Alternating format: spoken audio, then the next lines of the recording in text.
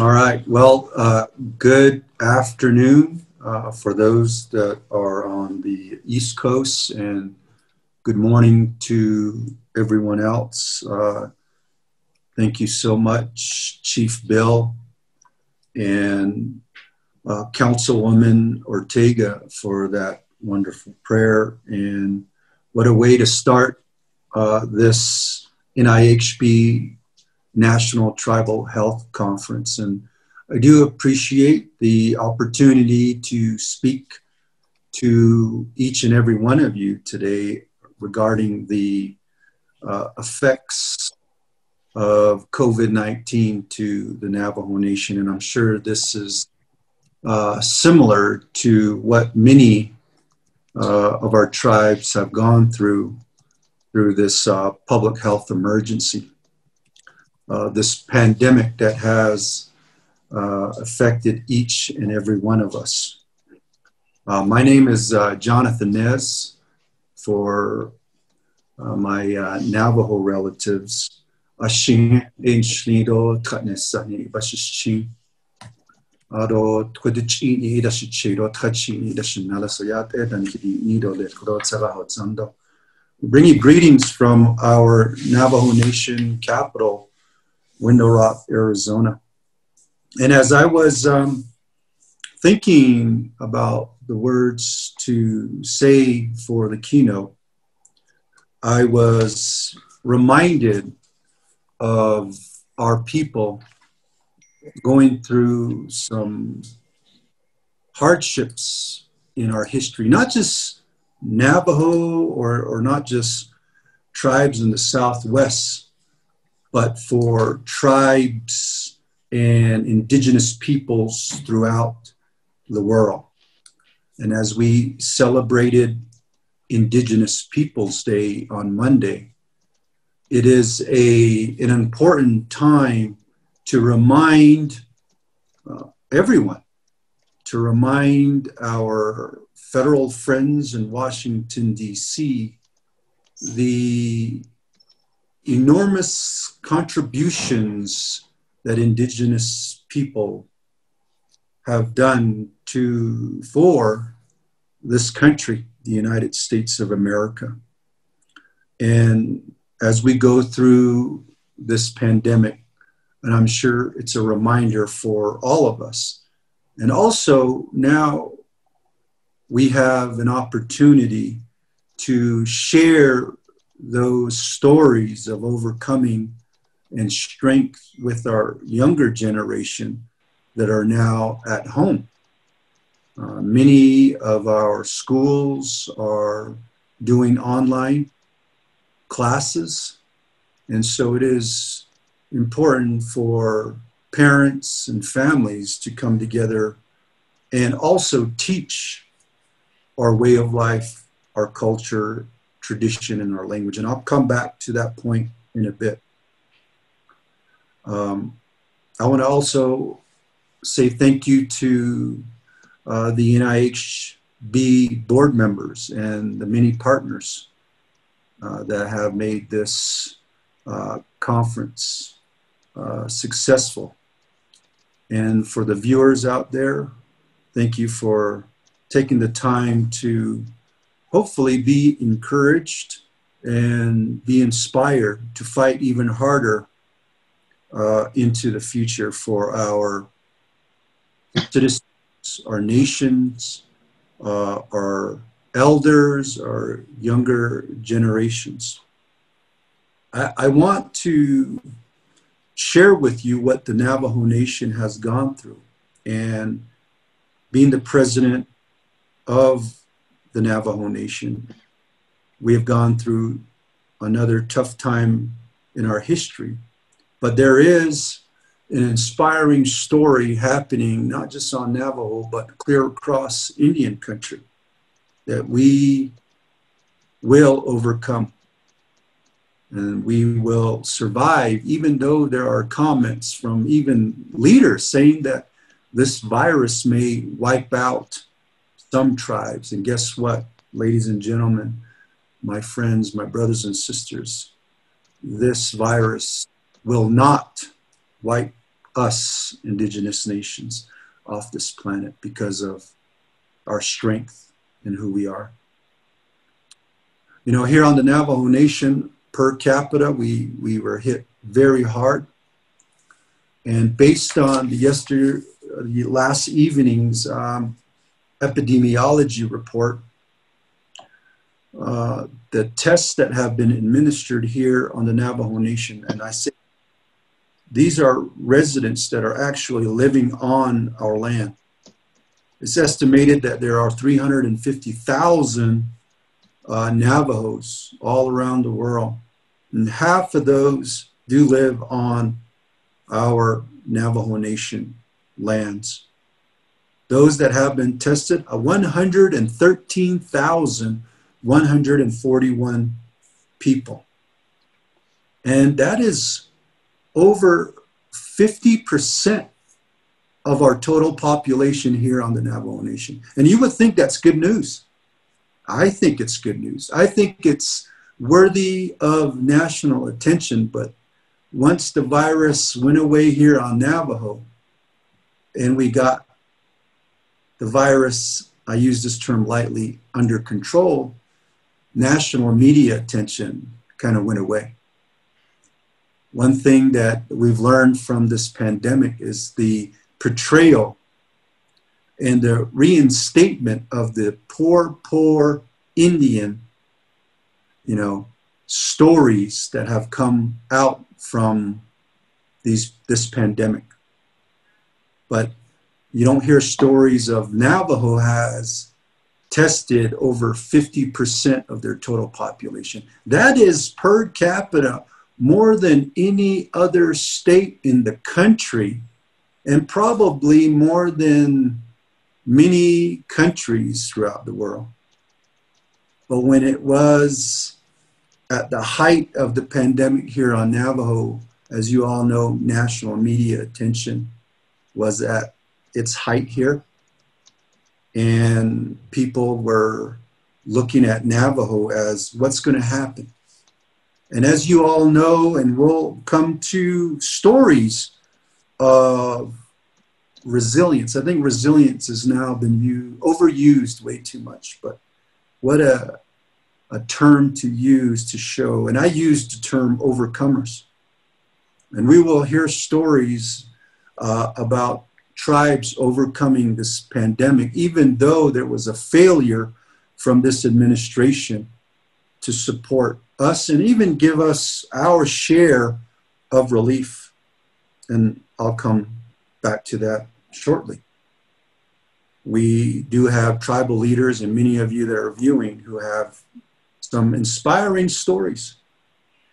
And the panel right after this keynote, Gwendena Lee, Lee Gatewood from the White Mountain Apache tribe, the chairwoman there, Cyrus Ben, chief of the Mississippi Band of Choctaw, will share with us these stories, stories of overcoming through some difficult times, and many, many others that are on this uh, virtual conference. I commend each and every one of you.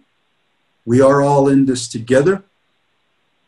We are all interconnected, and we are, and we will overcome this monster that has snuck into our homes, our communities, our tribal nations, and this country. And the positive test out of the 113 plus thousand that have uh, that were tested here on Navajo, 10,737 have tested positive for COVID-19. And one thing that we're tracking here on our nation is the recovery rate as well. The recovery rate is at 7,352. So if you were to subtract that from the 10,000, you will see uh, an accurate count of who is infected with this virus on our nation. But you know, in epidemiology, it doesn't work like that, right? You count the positive cases from the onset to today. And that, that's what makes it seem extreme in our communities. And 571 of our relatives have lost their fight to COVID 19. Our prayers go out to the family members who have lost loved ones through these trying times. And let me also say to those who've lost loved ones all across the country, our thoughts and prayers go out to each and every one of you through these trying times.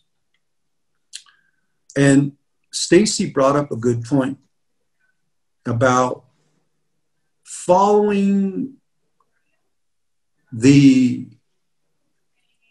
recommendations of the public health professionals is very important. The CDC, the NIH, we here have put in place 24 public health emergency orders. And some have said that they have they are one of the strictest in the country. We are all sovereign nations. So that means we have the ability to incorporate very stringent public health orders, mandating it, putting it into policy and law to protect our people. And that's what the nation, the Navajo Nation, has done. Early on in February, well, let me go back to January. January and February, when we heard the news that the there is a possibility that this virus would come into our country, and now we know we have been devastatingly impact, impacted by COVID 19. What, he, what we did was we developed a preparedness team to begin to go door to door to let our people know that this virus may come into our lands. And a lot of prevention work was done. If we, if Navajo were a state, we would have been maybe the 47th or the 48th state to get a positive case here on our land. In March, we were surrounded by states that have that had COVID positive cases. Before we even got our first positive case on the Navajo Nation, we issued a uh, public health emergency to start pushing back. But as you all know, this virus is very sneaky. This monster, once it came onto our nation, spread and multiplied into various parts of our nation. And we've got hit hard, and so many other tribes throughout the country have gone hit hard as well because of the uh, most vulnerable population that we have in our communities. We have high rates of diabetes, cardiovascular disease, cancer. Here on Navajo, we still have over 500 uranium mines still open, which contribute to cancers. And at that time, we were getting information from the CDC, NIH, from the state um, on how to combat this virus. And we appreciate the support. But here on Navajo, we said, you know what? This virus needs a Navajo name.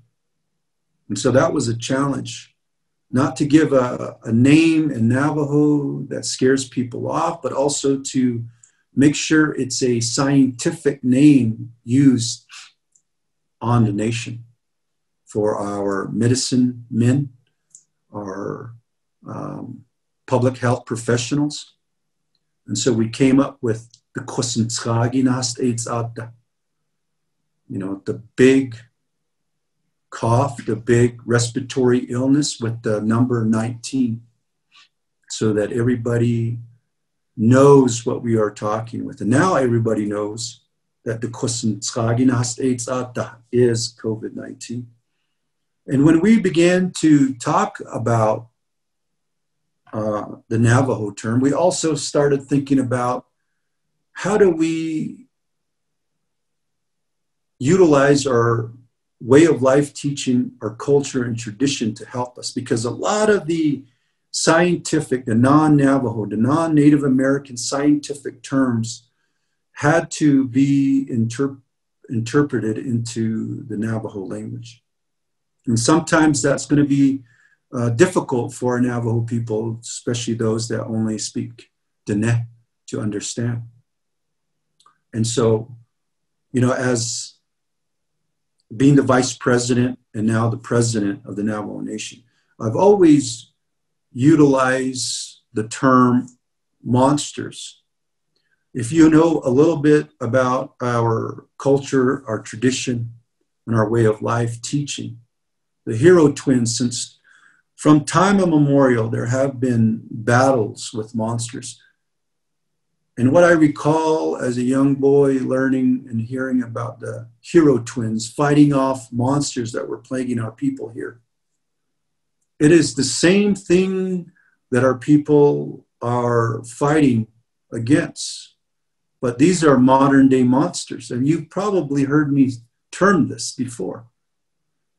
You know, when the monsters uh, came in during the Hero Twins uh, fight, we were uh, taught that we have weapons and we have the armor to combat these modern day uh, i'm sorry these monsters. And back then we heard stories of monsters called lice poverty old age hunger and you fast forward into the 21st century we have modern day monsters you got diabetes cardiovascular disease cancer you have alcoholism, drug addiction, depression, suicide that are plaguing our people today. And now we have a new monster called COVID 19.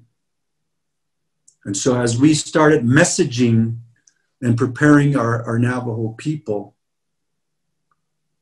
for this virus to come in our nation, into our nation back in March, early April, we framed it in that way that we need to be equipped with the weapons to co- combat this modern day monster, COVID 19.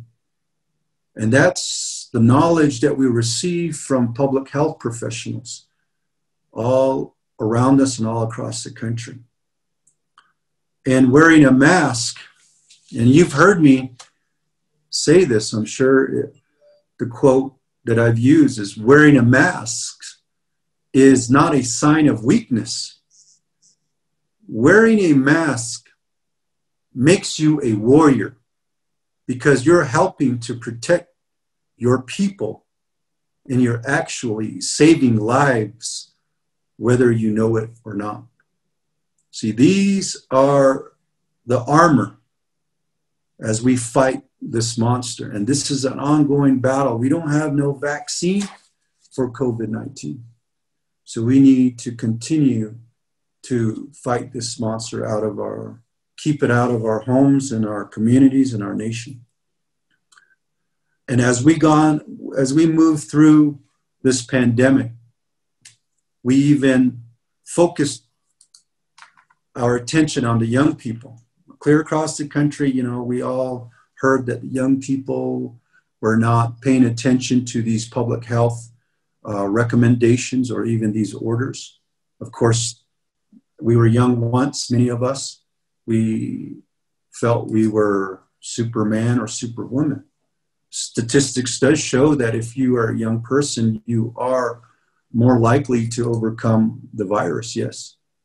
But you can, as a young person, spread this virus to that most vulnerable population, which is our elders, our disabled individuals. And so when we began to talk to our young people, we said, You all are modern day warriors, and we need your help. We need your help to be on the front lines of this battle and this war to help get water to our elders to be that runner to go to the supermarkets to get food for your elders and to help out our elders that may not have family members available.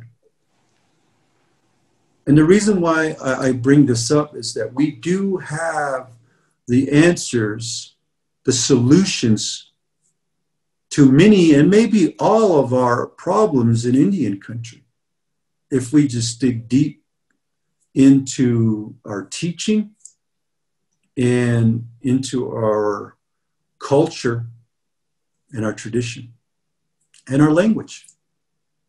Another example is diabetes. We just got through uh, a good um, harvest. On the onset, we also challenged our families now that back in March and April, students were at home, parents were at home. People were at home because we put a shelter in place order mandating everybody to stay home. But what we did say to everybody is rather than feel like they're boxed in at home, that they should resurrect their farms that are close to their homes to put more attention on our values and our way of life teaching. And I saw many of our people going out and planting as we're in October now, I see a lot of produce coming out of that challenge that we gave to our citizens. And that falls into mental health. I know there's a big discussion right now about how this virus is affecting our young people and other people, their mental health. And we knew that on the onset. And so, what we wanted to do is keep our young people, our families busy, and to also rekindle uh, their family, their positive relationship with their family members. I even got stories from students that say, Thank you, President, for doing the lockdowns. Yeah, that was surprising to me as well and the stay at home orders. I, and, and she said, I've never been so close to my parents ever. And they were able to do things together. And we actually cleaned off our dinner tables, right? Especially here on Nabo because we had a lockdown in the evenings. So home cooked meals, of course, healthy, healthy meals were prepared people around the dinner table once again, talking about what they're going through. Don't get me wrong, of course, there are other issues that are still here within the nation. But I wanted to share with everyone that it's just not this doom and gloom of this C19 pandemic in Indian country. There are positive stories that many of us can share with the outside communities that show that we are all overcomers. And these, the armor, being a warrior, has been rekindled here in Indian country. Even though there was lack of support from our stewards, again, broken promises from treaties that we've um, signed with the federal government. But we didn't roll over and give up, right? We all came together. And you see stories of that happening all across the country of people helping people. Five fingered beings, No matter what nationality, no matter what tribe, no matter what ethnic group, we are all five fingered beings and we're all in this together. And this is a continual battle that we have with this administration and with the federal government at times. But I do appreciate our congressional delegation, those that are fighting for what's right in Indian country. And now I think with the national attention that we're all receiving, here's an opportunity to magnify the strength and the resilience of Indian country. There are people all over the world, all over this country, that are asking, what can we do to help tribes throughout the country? I think the first thing they want to hear is we want more food, we want more cleaning supplies. Uh, what I've started to say is contact your senator, contact your congressmen and women, and challenge them to have a better relationship with the 574 tribes throughout this country. That I see is the future. This pandemic hit us hard in Indian country, but here is an opportunity to challenge our lawmakers and those that are running for the highest position in this land, the US presidency to fulfill those promises that were made by our ancestors and their ancestors for better infrastructure, resources for education and healthcare, unfunded mandates. You know, it hasn't been fully funded. Uh, they are Indian health services to this day. And now, as we move into self determination, many tribes are wanting to take on that responsibility. And that should be supported by our federal friends and our lawmakers in Washington, D.C. And so, as we go into some uncertainty, right? There's no vaccine, no cure for COVID 19. It's more so than, than ever before that we come together once again as we came together to push back on uh, the census, right? Even though the census has ceased now, voter registration here in Arizona was cut off. October 15th is the last day to register to vote here in Arizona. But we continue to battle and fight for what is right for our people. I just want to encourage us to think about that during this conference and with the uncertainty of this pandemic. This may be the new normal all around the world, especially now with the fear of people taking the vaccine, the C19 vaccine. And so these outbreaks will occur but let us also remind ourselves to use our way of life teaching, our culture and tradition and our language to fight these monsters within our tribal nations. Our ancestors fought hard for us to be here this day. Now it is our turn as tribal leaders and as indigenous citizens to fight even harder for what is right for the future of our people. Thank you so much for listening to uh, me for this keynote address. We look forward to all the keynote addresses that are going to be um, offered during this uh, conference. Thank you to the National Indian Health Board for their advocacy for all of Indian country. So let us be warriors and continue to fight for our people. So thank you so much. God bless you. God bless all our tribal nations and God bless the United States of America. Thank you so much.